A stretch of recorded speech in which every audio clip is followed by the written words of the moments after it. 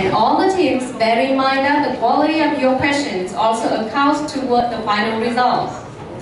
And now, let's wait no longer. Let's welcome the team number one, People Security Academy.